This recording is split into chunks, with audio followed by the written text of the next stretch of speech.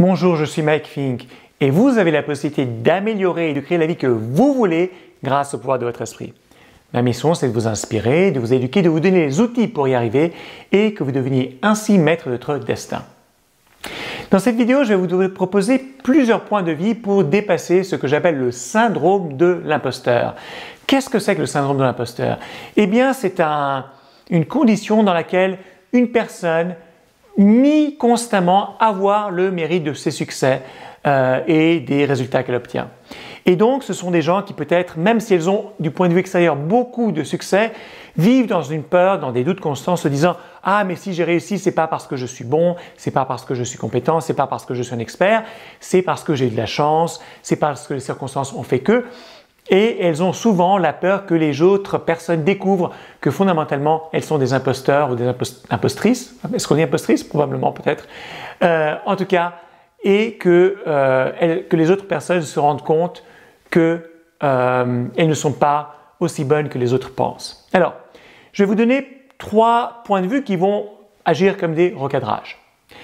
La première chose, c'est que il y a ce qu'on appelle la malédiction de la connaissance. C'est-à-dire que souvent, nous prenons pour acquis les choses que nous maîtrisons en se disant que tout le monde doit le maîtriser.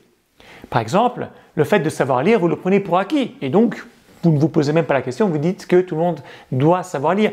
Et malheureusement, il y a encore un très grand nombre de personnes sur cette planète qui ne savent pas lire. Alors, c'est un exemple un petit peu évident, mais malheureusement, dans d'autres domaines, nous avons tous cette tendance à penser que si on le sait, les autres doivent le savoir aussi.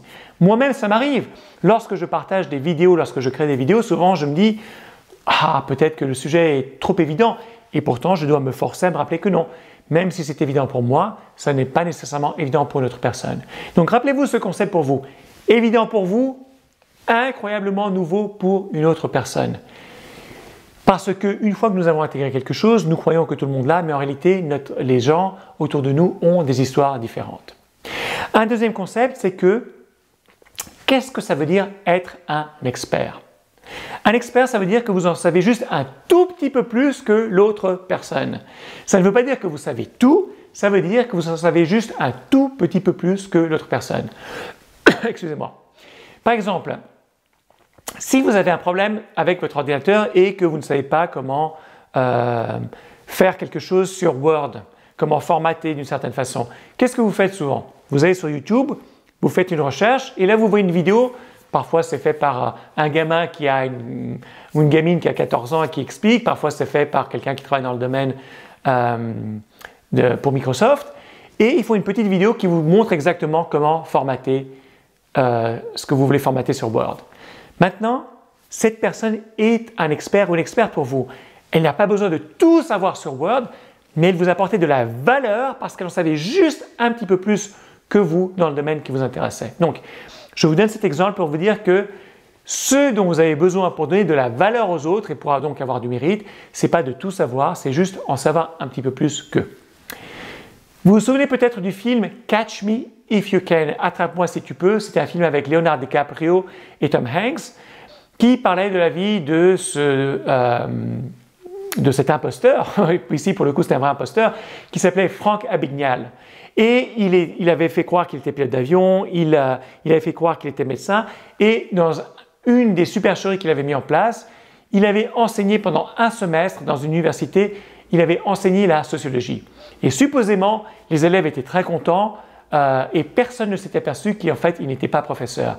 Et lorsqu'on avait demandé comment il avait fait, il avait simplement répondu Eh bien, je n'étais que un chapitre en avance sur le reste des élèves, c'est-à-dire qu'il n'étudiait qu'un chapitre en plus qu'eux, et de cette façon, il pouvait leur enseigner quelque chose, ou en tout cas donner l'illusion suffisamment forte de leur enseigner. Pourquoi? Parce qu'il en savait juste un petit peu plus qu'eux.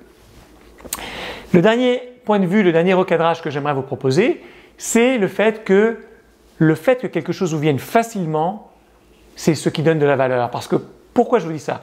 Beaucoup de gens te disent Ah, mais c'est trop facile pour moi. Si c'est facile pour moi, ça n'a pas de la valeur pour les autres. Mais imaginez que vous allez voir un expert, entre guillemets, un médecin.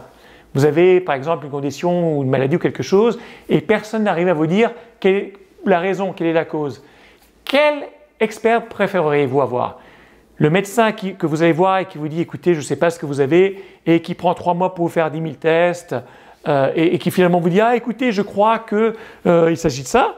Ou bien l'autre personne, vous allez avoir, vous commencez à lui décrire vos symptômes et en 30 secondes, vous dit Ah, mais oui, c'est évident, vous souffrez de X. eh bien, vous préféreriez voir le deuxième expert. Pourquoi? Parce que il a diagnostiqué de façon très très facile ce dont vous souffrez. Donc, si quelque chose est facile pour vous, ça a de la valeur pour les autres. Et souvent, malheureusement, les gens se disent Ah, c'est facile pour moi, donc peut-être parce qu'on vit dans une culture qui souvent donne des croyances imitantes comme quoi il faut travailler dur pour que ça ait de la valeur. Non, si c'est facile pour vous, ça ne veut pas dire que ça n'a pas de valeur. Au contraire, ça veut dire que ça peut avoir beaucoup de valeur pour les autres parce que ça vous met dans une position d'expert. Donc voilà, je tenais à partager ces trois points de vue, ces trois recadrages avec vous pour vous aider à dépasser l'éventuel syndrome de l'imposteur si vous l'avez. Et euh, pourquoi je, vous en parle? Parce que j'ai souvent le souvenir de personnes avec lesquelles j'ai travaillé dans le passé qui disaient Ah, mais je sais, je sais que je suis un excellent coach, je sais que je suis un excellent consultant, etc. Et qui, parce qu'ils avaient ce syndrome de l'imposteur, avaient du mal à demander euh, un tarif ou un prix pour euh, tous, ou demander à être payés pour leur, prestation, ou demander à être payés mieux pour leur prestation parce qu'ils pensaient que ça n'avait pas de valeur, que c'était trop facile pour eux euh, et que ce n'étaient pas des experts parce qu'ils ne savaient pas tout. Donc, normalement, avec les trois recadrages que je vous ai donnés, ça doit vous donner une perspective nouvelle pour comprendre que ce que vous allez offrir a de la valeur, a de la valeur même si c'est facile pour vous, même si vous ne savez pas tout. Si vous avez trouvé cette vidéo intéressante, eh bien partagez-la, cliquez j'aime pour la vidéo, cliquez j'aime sur cette page ou bien abonnez-vous à cette chaîne en fonction de la plateforme et surtout cliquez sur le lien dans la description, ça peut être en haut, en bas, à droite, à gauche pour aller sur mon site internet et obtenir d'autres outils qui vont vous permettre de devenir maître de votre destin. Je suis Mike Fink et je vous dis à très bientôt.